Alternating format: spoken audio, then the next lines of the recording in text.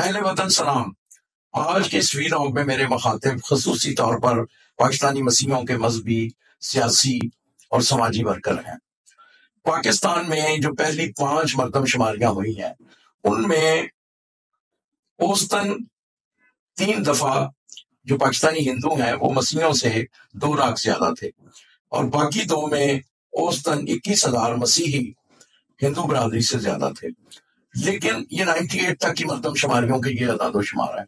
लेकिन 2017 जो कि पाकिस्तान की तारीख की मतजाद तरीन मरदम शुमारी है, उसके जो शुमार जब पब्लिक हुए तो जो पाकिस्तानी हिंदू हैं, वो 18 लाख मसीहों से ज़्यादा हो गए। हिंदू जाति और शेड्यूल कास्ट की जो मजमू तादाद है, वो चालीस लाख कुछ हो गई, जबकि मसीहों की छब्बीस लाख कुछ रह गई। अब ये अचानक इतना बड़ा जो फ़र्क था, उस, वो समझ से बाला तर है कि ये क्या हुआ, कैसे हुआ। 2017 में हुक्मरान कौन थे? 2017 में वज़ीर शमारियात कौन था? ये, और जो कमाल की बात है कि ये रावलपिंडी में एक मसीही जर्नलिस्ट हैं साग साहब। उन्होंने मुझे पहली पाँच जो मतलब शुमारियाँ हैं, उनके तस्दीक शुदा ये अदाद शुमार भिजवाए। वहाँ से वजारत शुमारिया से लिए हुए। उसके बाद से हम मसलसल इस पे बात करते रहे हैं। लेकिन कमाल ये है कि इस दौरान, ये तकरीबन डेढ़ दो साल की बात है, इस दौरान पंजाब में जिमनी इंतबात भी हुए और पचासी से नब्बे परसेंट जो मसीही आबादी है, वो पंजाब में रहती है। लेकिन मजाल है किसी सियासी वर्कर ने, किसी समाजी वर्कर ने, या जो सियासी रुझाना रखने वाले मसीही मजहबी वर्कर हैं, उन्होंने इस बात को कहीं किसी भी फोरम पे उठाया हुआ। फिर उसके बाद आठ फरवरी 2024 के इंतबात हुए।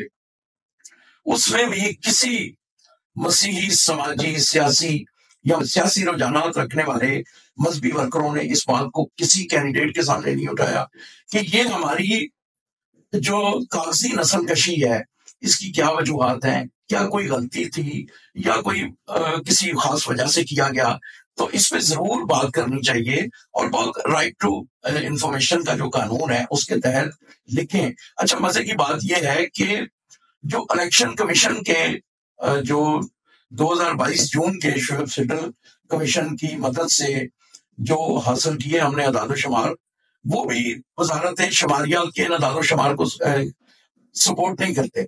उसके मुताबिक भी कोई मसीहों की आबादी अड़तीस लाख होनी चाहिए। क्योंकि सत्रह अठारह लाख वोट शो हो रहे हैं, दो हज़ार बाईस जून तक। तो इस पे ज़रूर बात करें। देखें, अपने लोगों की इज्तमाही शनाख्त में से अगर इतने लोग कम हो जाएँगे, तकरीबन ग्यारह बारह लाख लोग उन्होंने कम कर दिए। तो अभी 2023 की मरदमशुमारी के अदाद शुमार बाहर नहीं आए।